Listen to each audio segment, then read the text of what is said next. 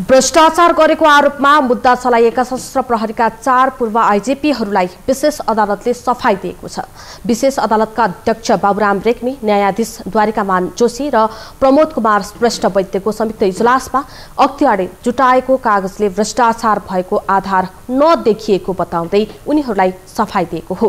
सशस्त्र प्रहरीको सामान ढुवानी गर्दा नक्कली बिल बनाई करोडौँ रुपियाँ भ्रष्टाचार गरेको अभियोग अख्तियारले लगाएको थियो। सशस्त्रका पूर्व आइजिपीहरू कोषराज वन्त शैलेन्द्र कुमार श्रेष्ठ वासुदेव ओली र शरद कुमार सहित बाइसजना विरुद्ध दुई हजार बहत्तर सालमा अख्तियारले भ्रष्टाचारको मुद्दा चलाएको थियो। उनीहरूले सामान नै ढुवानी नगरी झुटा बिल भरपाई तथा कागजपत्र तयार गरी सञ्चालनमै नरहेको सत्यम ट्रान्सपोर्टबाट समेत सामान ढुवानी गराएको देखाएको थियो। तर ट्रान्सपोर्टको समेत नक्कली बिल पेश गरी अस्सी लाख तिरानब्बे हजार छ सय दस रुपियाँ रकम बराबरको नेपाल सरकारलाई गैर कानुनी हानि नोक्सानी पुर्याउने कार्य गरेको अख्तियारको दावी थियो।